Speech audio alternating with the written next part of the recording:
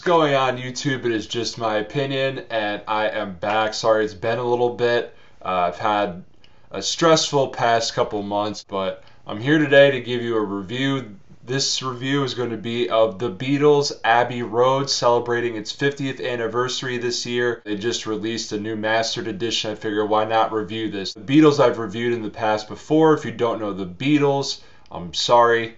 Uh, what are you doing? One of the most famous rock bands of all time, in which they dominated the 60s, started off as just a pop rock group that began experimenting more and more with each album as far as psychedelic rock and other instrumentations. This particular album is their second to last album ever put out together, which it should have been their last album put out together. Let It Be, which was their official last one, was a bit choppy, used a lot of pre recorded sessions but this was their last album where they were all recorded together. There was a lot of tension during this time period between the band members, but somehow with this album, it came all together really, really well. And it's only fitting the album starts with the song Come Together. This is my favorite song from this album by far. This one was sung by John Lennon, has some kind of goofy lyrics in there, but it's very catchy. Hits very hard right from the get go, just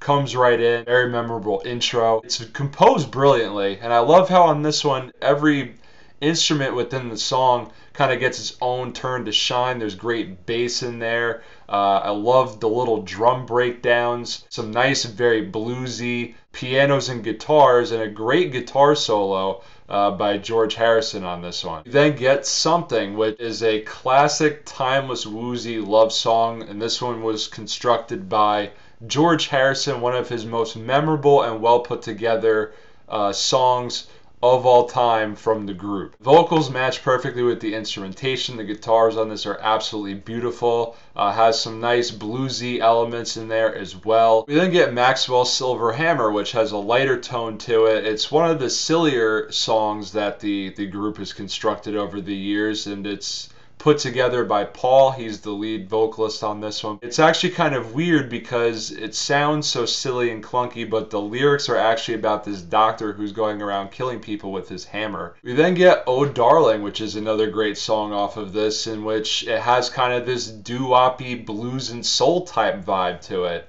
And Paul McCartney is singing on this one. He does a fantastic job on the vocals on this one. I've never really heard him sing like this with this much grit and passion. You want to feel goosebumps, listen to the listen to his vocals on this one. The guitars are just pure rock, but the background vocals, the pianos added in there just add this sweet soul element. Everything was put together very very well for this song. We then get Octopus's Garden, which uh, another silly fun song, uh, kind of quirky song. It's sung by Ringo, which is the drummer. Not that any of them are, are, are bad vocalists in any way, but out of all of them, he's easily the weakest, and he doesn't really have that many sung songs uh, throughout the discography. Normally, they're just kind of silly, fun songs that he kind of constructs, but this one is actually sung pretty well by him. I think uh, he should get a lot of credit for the way that he sang on this one. I thought the guitars again sounded absolutely beautiful and fantastic by George Harrison. I think George Harrison really did an amazing job throughout this entire album as far as the guitars goes. We then get I Want You, She's So Heavy, which is definitely a standout track of mine on the album. Constructed absolutely great. Love how it goes from this kind of sleek, smooth production sound and style uh, with John singing. kind of rolls over and switches up into like this heavy, heavy sounding track. This just crazy white noise building up and up. It kind of makes you go from like La La Land getting like snapped right back into reality. It's just amazing the way that this song builds up. We then get Here Comes the Sun, which is another standout track of mine on the album. This is another timeless classic love song by George Harrison. Again, one of his more memorable, one of his better constructed songs that he did for the group. Again, it's nice and light, pop friendly. It's just a feel good song, but while still fitting in and experimenting with the album with uh, nice acoustic guitars and Moog synthesizer. Uh, if this song does not just make you feel better or, or brighten your day in any sort of way, I'm convinced you don't have a soul if this doesn't help boost your mood up while listening to it. We then get Because, again, another beautifully constructed song, another standout of mine. It has a very uh, psychedelic, hypnotic type feel to it. With the instrumentation, it's mostly just a harpsichord and Moog synthesizer kind of layered together, but what really makes the song stand out is just the, the vocal performance, the, the harmonies throughout the entire song. The way that this was constructed, so George, John, and Paul are all singing on this song together simultaneously harmonizing, stacked up their vocals uh, all together, not once, twice, but three times. So you're hearing nine different vocal tracks throughout this entire song, which is absolutely outstanding. We then get You Never Give Me Your Money, which uh, is the first of, of a bunch of songs that follow. It's like a nine song medley type thing that they were doing at starting at this point during the album. This one was one of the stronger songs within the medley. It's about four minutes long, but it breaks down a couple different times and switches up a few different times that it almost feels like its own little medley, primarily sung by Paul it goes from like this piano ballad to like a rock opera type sound to then just like straight rock towards the end of the song and the way that it all transitioned together sounded great. We then get Sun King, which is another smooth jazzy track in which the guitars swell absolutely beautifully on this one. And on this one again, they kind of do the triple stacking of the vocal performances again, and this sounds again very hypnotizing, uh, very well done. At a certain point in the song, they're all singing in Spanish, which sounds straight fire, muy caliente. Then get Mean Mr. Mustard, which is kind of a silly song. Doesn't really last very long. Not really a big fan of this one. It doesn't really transition smoothly either from Sun King, in which, speaking of transitioning smoothly, again, uh, Polythene Pam comes right after this, which is not the best transition again either. Wasn't really a fan of this song either, mostly for John Lennon's vocal performance. I don't know, I just didn't like it. It was kind of getting sloppy towards this part uh, part of the album. But she came in through the bathroom window. I thought was better. It was transitioned much smoother. Kind of felt like it was actually transitioning from the last song into this one. And I just I like Paul's vocals performances on this one better too. You then get Golden Slumbers, Carry That Weight, and the end, which is all kind of its own one little medley, which is probably the best medley throughout the entire medley section of the album.